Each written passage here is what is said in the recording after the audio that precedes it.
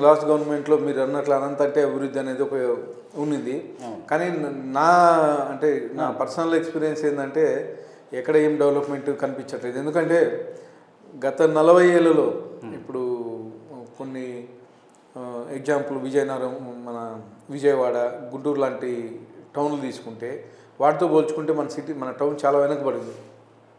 ఎక్కడంటే ఇప్పుడు ఒక చిన్న తాడిపత్రి లాంటి ఒక మున్సిపాలిటీని అండర్ గ్రౌండ్ డ్రైనేజ్ చేయించారు. అనంతపూర్ ఇంతవరకు అండర్ గ్రౌండ్ డ్రైనేజ్ తేలేదు. ఇంకేం డెవలప్ చేసినట్లండి? ప్రభాకర్ రెడ్డి గారు తాడిపత్రి అండర్ గ్రౌండ్ డ్రైనేజ్ చేయించారు. అనంతపూర్లో ఇప్పుడు కానీ అండర్ గ్రౌండ్ డ్రైనేజ్ లేదు. లాస్ట్ టైం చెప్పారని చెప్పాం కదా. ఇంకా ఎక్కడ డెవలప్ చేసినారు గత ఐదేళ్ళలో ఎక్కడ చేశారు ఆయన? ఎంపీగా నాలుగు సార్లు ఉన్నారు. ఏం చేశారు? పర్టికులర్గా ఏదైనా చేశానంటే ఒక హైవే ఒకటి రోడ్డు వేయించారు దాంట్లో కానీ అది కానీ తెలుగుదేశం ప్రభుత్వంలో పెట్టిన ఫండ్స్. ఈయన వచ్చిన తర్వాత శాంక్షన్ అయినాయి ఆ రోడ్డు ఒకటి వేయించారు అది కానీ ఏంటంటే వంకర్ టింకర్గా వేయించారు దాంట్లో అనేకమైన అవినీతి జరిగి జరిగింది జరిగింది. ఆయన కావాల్సిన చోట కుదించడం. జనరల్గా రోడ్ వైడనింగ్ అంటే వెడల్పు చేస్తారు. ఆయనకు ఆయన కావాల్సిన చోట ఇప్పుడు మీరు నిమాఫ్రికల్స్ ఉంది. నీమా ఆప్టికల్స్ రోడ్ కుదించారు. అలాగే కొన్ని చోట్ల దాన్ని ఏమంటారు వైడనింగ్ చేయకోకుండా యాసీజ్గా ఇచ్చారు. కొన్ని చోట్ల డబ్బులు తీసుకొని ఆ, బిల్డింగ్లు కానీ ఆపారని చెప్పేసి అంటే ఇవన్నీ అనంతపూర్ ప్రజలు చెప్తా ఉంటే విని అనమాట అవి ప్రాక్టికల్గా ఆల్రెడీ ఎంక్వైరీ చేస్తున్నారు. ఏమేమి అవినీతి జరిగింది ఎంత ఎంత ఎందుకంటే నాట్ ఓన్లీ అనంతపూర్ మొత్తం రాష్ట్ర వ్యాప్తంగా. ఆ, భయంకరమైన అవినీతి జరిగింది. అవన్నీ బయటికి తీస్తున్నారు. Last government Jaganmohan Reddy government ఏదైతే చేసిందో బయటికి తీసిన తర్వాత అనంతపూర్లో కానీ ఎంత అవినీతి జరిగింది అనేది బయటకు వస్తాయని చెప్పేసి అనుకుంటున్నాను. మీరు గమనించారో లేదో ఈ వర్షాకాలంలో సప్తగిరి సర్కిల్ ఆ సర్కిల్ నుంచి లలితగల పరిషత్ వరకు భయంకరమైన వాటర్. స్టోరేజ్ అవుతుంది. ప్లస్ ఆ మురిగి నీరు వర్షం నీరు చేరి రోడ్ అంతా బ్లాక్ అయిపోతుంది. అవును. దాన్ని మీరు ఎప్పుడు చర్యలు తీసుకొని ఎప్పుడు ముందుకెళ్తారు? ఆల్రెడీ ఈరోజు కానీ కమిషనర్ గారితో మాట్లాడడం జరిగింది అది. వీలైనంత తొందరలో ఎందుకంటే ఇప్పుడు municipal commissioner in charge commissioner తర్వాత మేయరు వైఎస్ఆర్సీపీ పార్టీకి చెందిన వాళ్ళు ఎక్కడైతే అంటే ఇలాంటివి చేస్తే తెలుగుదేశం ప్రభుత్వానికి చెడ్డ పేరు వస్తుందని చెప్పేసి తీసుకురావాలని చెప్పేసి వాంటిట్లు ఆపడం జరుగుతుంది. ఈరోజు మార్నింగ్ నేను మాట్లాడాను మున్సిపల్ కమిషనర్తో.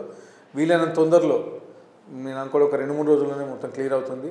ఆల్రెడీ ఈరోజు మార్నింగ్ వెళ్ళి చూసి రావడం జరిగింది. అలాంటివి నాట్ ఓన్లీ సప్తగిరి సర్కిల్ ఎక్కడ ఉన్నా కానీ దేనికంటే మీరు అబ్జర్వ్ చేసి ఉంటారు. లాస్ట్ మంత్లో నేను మొత్తం రామ్నగర్ మొత్తం తిరిగాను డ్రైనేజ్ వ్యవస్థ మీద.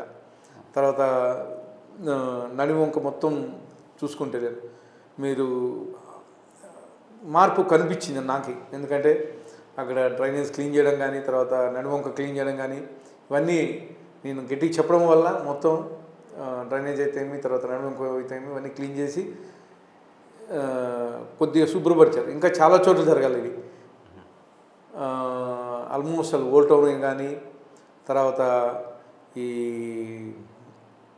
మన రామ్నగర్ రామ్నగర్లో కానీ డ్రైనేజ్ ఏమైందంటే ఇంత పాపులేషన్ పెరిగింది. ఇంతకుముందు అంత వన్ మీటర్ డ్రైన్ ఉంది. ఇప్పుడు టూ మీటర్స్ డ్రైన్ టెండర్స్ కానీ కాల్ఫర్మేషన్ చేయమని చెప్పి చెప్పాను. ఇవన్నీ అంటే ఈ దీనికి శాశ్వత పరిష్కారం ఏంటంటే అండర్ గ్రౌండ్ డ్రైనేజ్. ఓకే దానికోసం ట్రై చేస్తున్నాను. మా ఎంపీ గారు కానీ అక్కడ ఎప్పుడు మొదలు పెట్టబోతున్నారు అది? ఎప్పుడు మొదలవుతుందని ఆల్రెడీ డిపిఆర్ చేసేసి సబ్మిట్ చేసాం లాస్ట్ టైం చంద్రబాబు నాయుడు గారు ఢిల్లీ వెళ్ళినప్పుడు మినిస్టర్ గారిని ఇవ్వడం జరిగింది అవి. ప్రాసెస్లో ఉన్నాయి. నేను అనుకోవడం ఒక ఫైవ్ సిక్స్ మంత్స్లో శాంక్షన్ గాని తెచ్చుకు రావచ్చు అని చెప్పేసి అనుకుంటున్నాను. అనంతపురం పట్టణంలో విపరీతమైన ట్రాఫిక్ పెరిగిపోయింది. మీరు చూసింటారు అది కూడా? మీ బండికే అడ్డం వచ్చింటారు అందరు విపరీతమైన ట్రాఫిక్ ఉంది. ఈ ట్రాఫిక్ నుంచి వెసులుబాటు ఎప్పుడు కల్పిస్తారు అనంతపురం ప్రజలకి? అదే ఖచ్చితంగా అంటే ఒకటి వేణుగోపాల్ నగర్లో ఒక చిన్న రోడ్ డిస్టర్బెన్స్ ఉంది. నేను కలెక్టర్ గారిని దృష్టికి తీసుకెళ్ళాను. కొద్దిగా అక్కడ ఒక యాభై సెంట్లు రోడ్డు ల్యాండ్ అక్వియేషన్ ప్రాబ్లం ఉంటే అది కానీ కలెక్టర్ గారు చెప్పాను నేను. అది క్లియర్ చేస్తానని చెప్పారు. అది క్లియర్ చేస్తే ఏదైతే శ్రీకంఠ సర్కిల్ ఇవన్నీ ఉన్నాయో అది గుత్తి రోడ్డు పోయేదంతా స్ట్రైట్గా బస్ స్టాండ్ నుంచి అటు నుంచి అటు వెళ్ళిపోతుంది. అలాగే ఇదేంటంటే ఇప్పుడు అనంతపూర్ సిటీ మొత్తం ఉండేది సిక్స్టీన్ స్క్వేర్ కిలోమీటర్సే మొత్తం. దాంట్లో దాదాపు నాలుగున్నర లక్షల పాపులేషన్ ఉంది. అంటే డెన్సిటీ చాలా ఎక్కువ ఉంది. దాంట్లో భాగంగానే ఈ ట్రాఫిక్ దీనిలో ప్రణాళికలో భాగంగా మేము అవుటర్ రింగ్ రోడ్ ఒకటి ప్లాన్ చేస్తున్నాం. అవుటర్ రింగ్ రోడ్ కానీ నిన్న పార్లమెంట్లో ఎంపీ గారు ప్రస్తావించడం జరిగింది. అలాగే మా చంద్రబాబు నాయుడు ముఖ్యమంత్రి గవర్నమెంట్ ముఖ్యమంత్రి గారి దృష్టికి కానీ తీసుకెళ్ళాం మాకు ఒక అవుటర్ రింగ్ రోడ్ కానీ లాస్ట్ టైం ఎలక్షన్లో భాగంగా మా ముఖ్యమంత్రి అనౌన్స్ చేయడం జరిగింది. ఖచ్చితంగా అవుటర్ రింగ్ రోడ్ ఒకటి అండర్ గ్రౌండ్ డ్రైనేజ్ వస్తే మ్యాక్సిమం అనంతపూర్కి శాశ్వత పరిష్కారం దొరుకుతుందేమో అని అనుకుంటున్నాను ట్రాఫిక్ కూడా. ట్రాఫిక్ కానీ దొరుకుతుంది. ట్రాఫిక్ భయంకరంగా ఉంది కదండి. అవుటర్ రింగ్ రోడ్ వచ్చేస్తే ఏదైతే ఇప్పుడు వెహికల్స్ ఉన్నాయో మామూలుగా ఈ హెవీ వెహికల్స్ ఇవన్నీ బయట నుంచి వెళ్ళిపోతాయి. ఇంకా సి టౌన్లోకి వచ్చే పని ఉండదు అన్నమాట ఇప్పుడు మీరు సపోజ్ రామ్నగర్ నుంచి గుత్తిరోడ్కి వెళ్ళాలి. రామ్నగర్ నుంచి గుత్తిరోడ్కి వెళ్ళాలంటే లోపల నుంచి వెళ్ళాల్సిందే. సప్తగిరి సర్కిల్ వెళ్ళుకొని వెళ్ళిపోవాలి. అట్లా కాకుండా అవుటర్ రింగ్ రోడ్ ఉందనుకోండి ఇవి వెహికల్స్ బయట వెళ్ళిపోతాయి. అందుకని అవుటర్ రింగ్ రోడ్ కానీ ఒకటి ప్లాన్ చేస్తున్నాం. ఖచ్చితంగా ఏంటంటే డెన్సిటీ అనంతపూర్ డెన్సిటీ ఉండేది. ప్లస్ రోడ్ వైడనింగ్ కానీ ఎక్కడైతే అవసరం అవుతాయో అవి కానీ రోడ్ వైడనింగ్ కానీ చేపడతామని చెప్పేసి తెలియజేస్తాం. గత ప్రభుత్వం మాజీ ముఖ్యమంత్రి జగన్మోహన్ రెడ్డి గారి పరిపాలనకు చంద్రమో చంద్రబాబు నాయుడు గారి పరిపాలనకు ప్రస్తుత ముఖ్యమంత్రి చంద్రబాబు నాయుడు గారి పరిపాలనకు వ్యత్యాసం అంటే ఏం చెప్తారు? వ్యత్యాసం ఇప్పుడు నూట అరవై నాలుగు సీట్లు వచ్చాయి కదండి మాకి అదే వ్యత్యాసం. ఇంతకుముందు మా నాయకుడు ముఖ్యమంత్రి పద్నాలుగేళ్ళు ముఖ్యమంత్రిగా చేశాడు. ఆ టైంలో హైదరాబాద్ని ఏ విధంగా డెవలప్ చేశాడు అనేది ప్రపంచానికే తెలుసు. అంతకుముందు ఒక మామూలుగా యుఎస్ కానీ ఇటు ఇటు బయటికి వెళ్ళాలంటే ఒక వర్గ అంటే కొంతమందికి మాత్రమే సాధ్యమైంది. ఈరోజు పల్లెటూరులో ఏ పల్లెటూరుకి వెళ్ళినా కానీ మా కొడుకు యుఎస్లో జాబ్ చేస్తున్నాడు. సాఫ్ట్వేర్ ఇంజనీర్ ఏ ఊర్లో కానీ మినిమం ఒక పదిహేను ఇరవై మందికి తక్కువ కాకుండా సాఫ్ట్వేర్లు ఉన్నారు. దాంట్లో ఒక ఐదారు మంది మినిమం యుఎస్ యూకేనో బయట కంట్రీలో జాబ్ చేస్తున్నారు. అది కేవలం మా నాయకుడు చంద్రబాబు నాయుడు గారు డెవలప్ చేసిన దాని వల్లనే అయ్యింది. ఓకే. హైదరాబాద్కి వెళ్తే మీరు ఆ, సైబర్ సిటీ ఏరియాలో అక్కడికి వెళ్ళి చూస్తే అసలు మనం ఇండియాలో ఉన్నామా అనిపిస్తుంది. అంటే అంత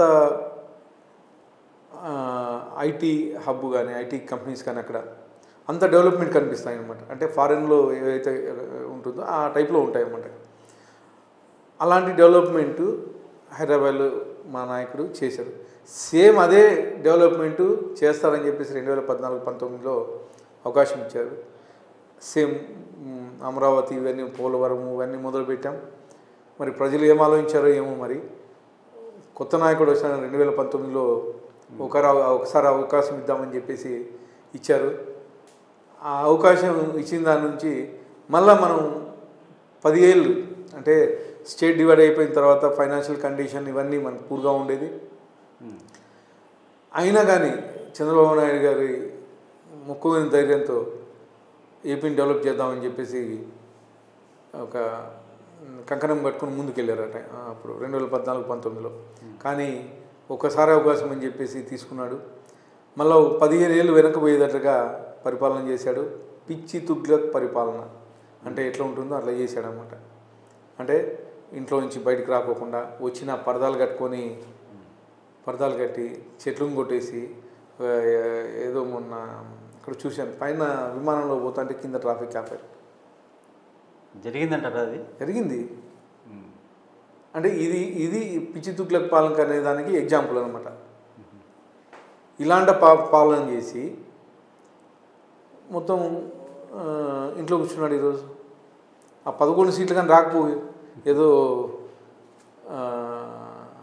ఆయన అదృశ్యం అనుకుంటా పదకొండు సీట్లు కానీ. లేకపోతే మొత్తం one seventy five one seventy five మేము క్లీన్ స్వీప్ చేసాం మీకు బాగా నచ్చిన నాయకుడు ఎవరు అంటే ఏం చెప్తారు? బాగా నచ్చిన నాయకుడు ఇంకెవరు ఉంటారండి?